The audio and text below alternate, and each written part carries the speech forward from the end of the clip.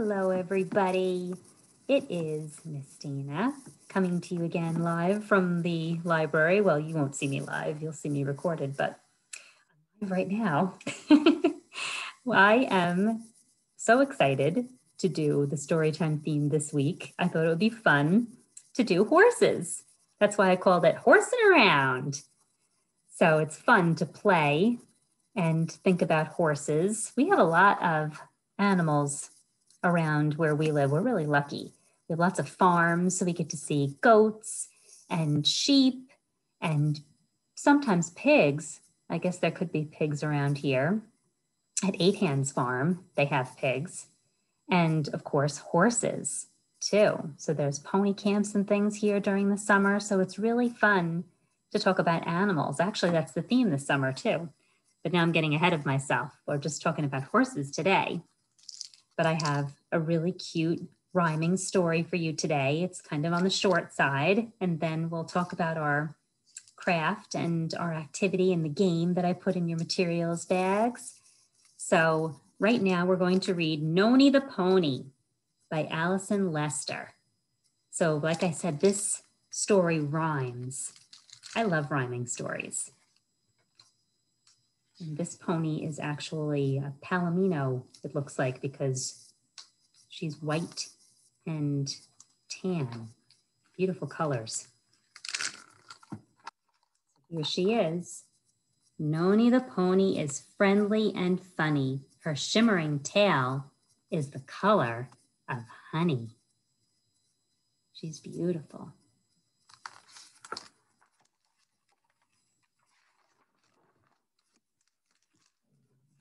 She lives on a farm at Waratah Bay and likes eating apples and carrots and hay.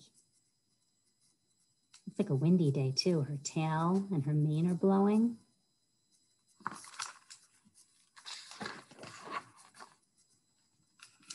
Noni the pony likes trotting and prancing, and the ladies next door always moo while she's dancing.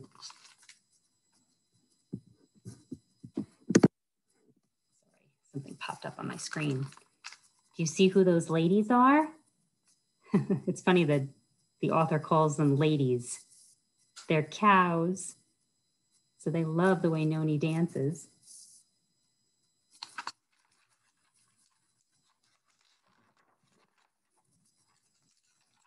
She gallops and spins and canters and bucks and then kicks up her heels with the hens and the ducks. They all love to dance. Got fancy moves.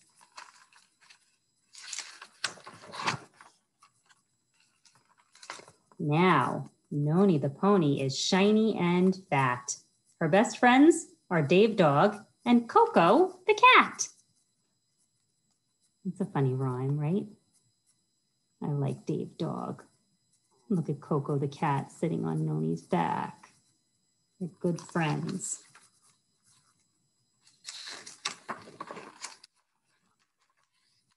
They ambush each other. See how fast she's running? And they play hide and seek, racing and chasing and jumping the creek. There's that long, long creek. Doesn't look like Coco likes being chased. Coco has a scared look on her face. She's smiling a little bit. Noni the pony is gentle and kind. She never lets anyone get left behind. Look, Dave the dog is having trouble keeping up. So Noni waits with Coco. So nice. That's good friends, right? Good friends do that. Wait up. This is another nice thing that friends do. If Coco and Dave feel lonely or gray, Noni tells stories to brighten their day. Look at them sitting under the tree. So nice. It's pretty hard to give Noni the pony a fright, but once in a while, she gets spooked at night. Hmm. Do you like the dark?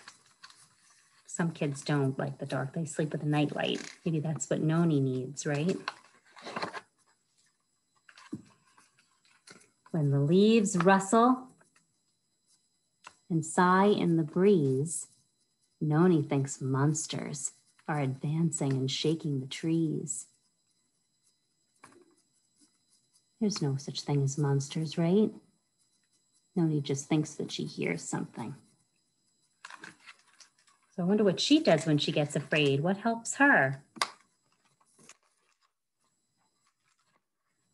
Ah, so at bedtime, her friends snuggle in for a song. She sings. It makes her feel better. It's fun when your friends are there, they make you feel better.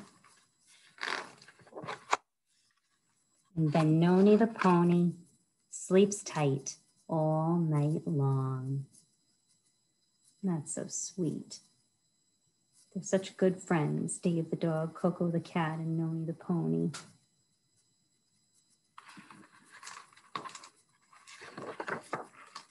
Did you like that rhyming story? I hope you did.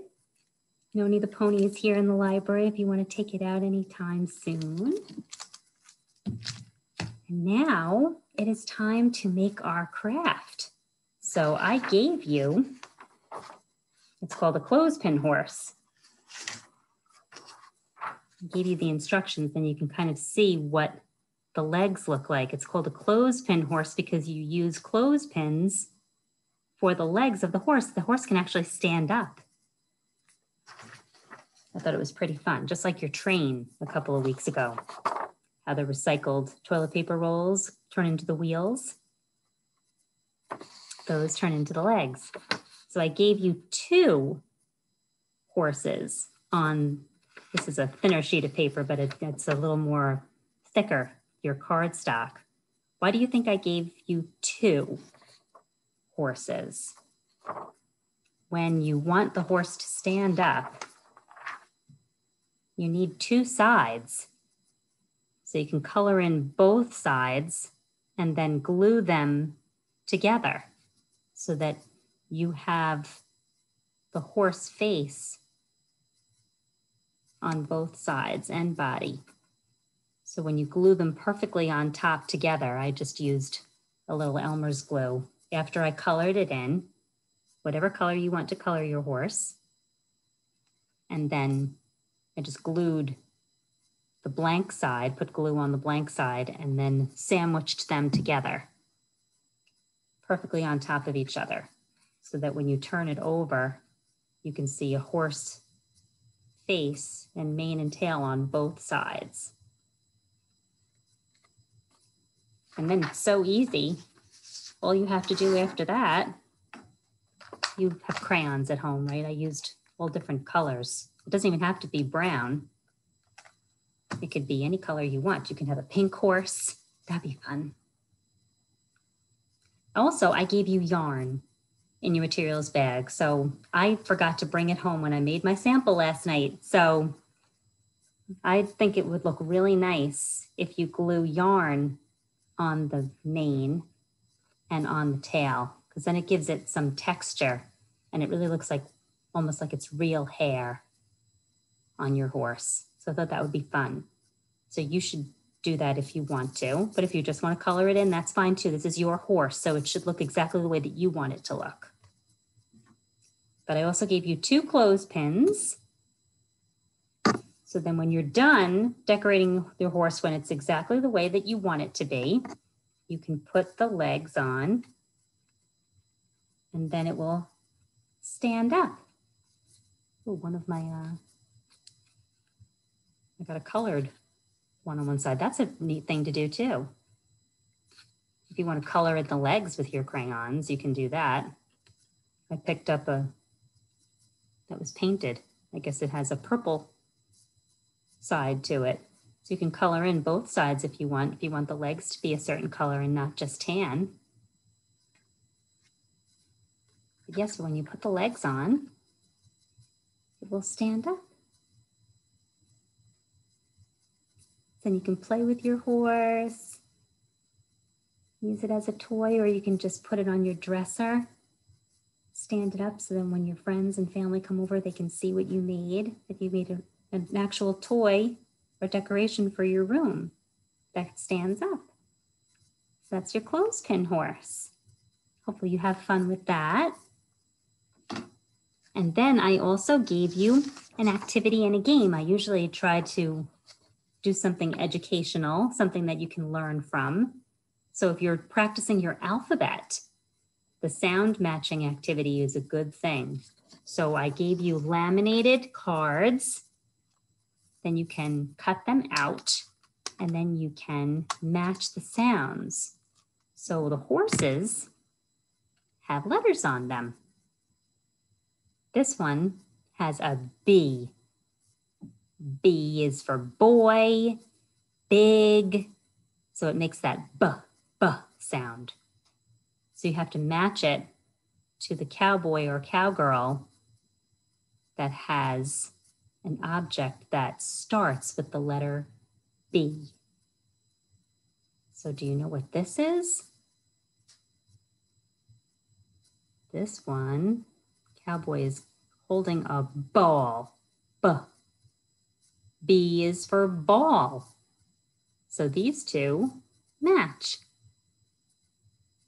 So you just match it with whatever the start starting letter is. So B, B. I should do this. Maybe I won't, get, won't shake the wrong card.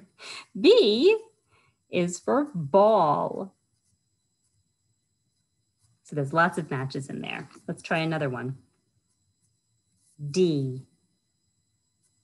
D is for, do you know what that is? D, D. D is for D, duck.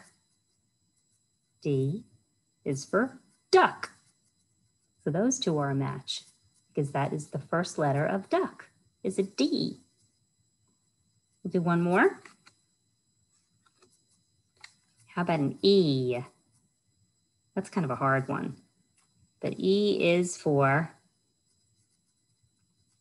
elephant.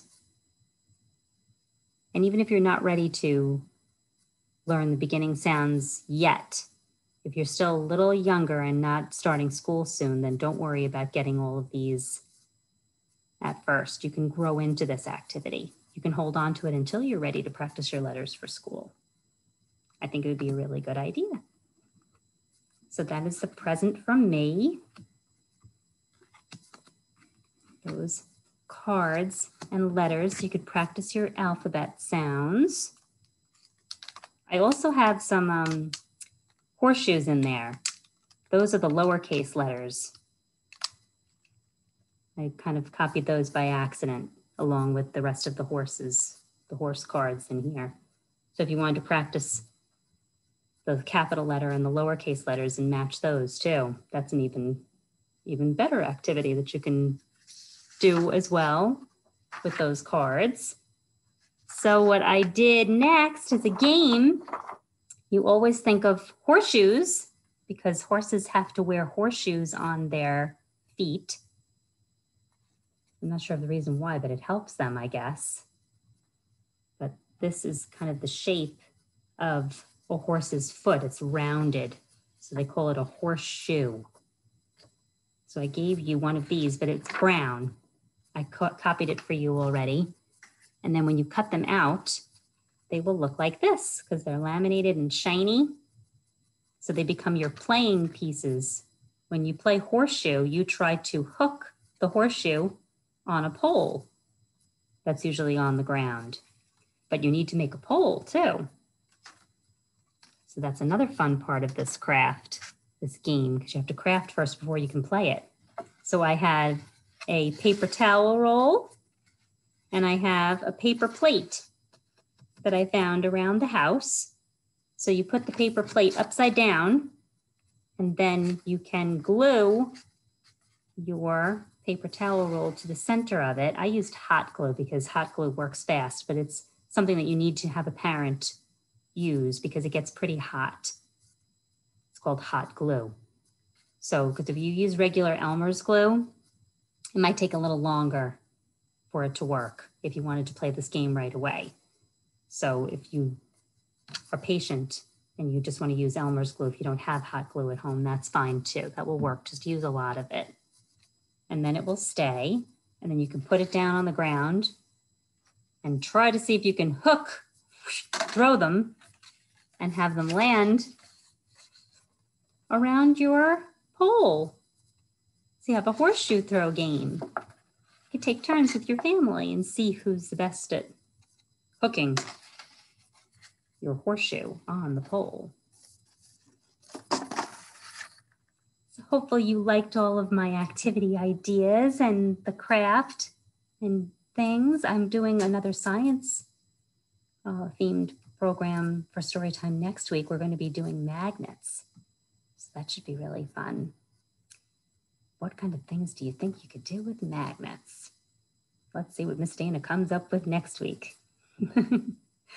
All right, everybody. So nice to work with you. And I hope you enjoyed the horsing around story time. And I will definitely see you next week. Bye, everybody.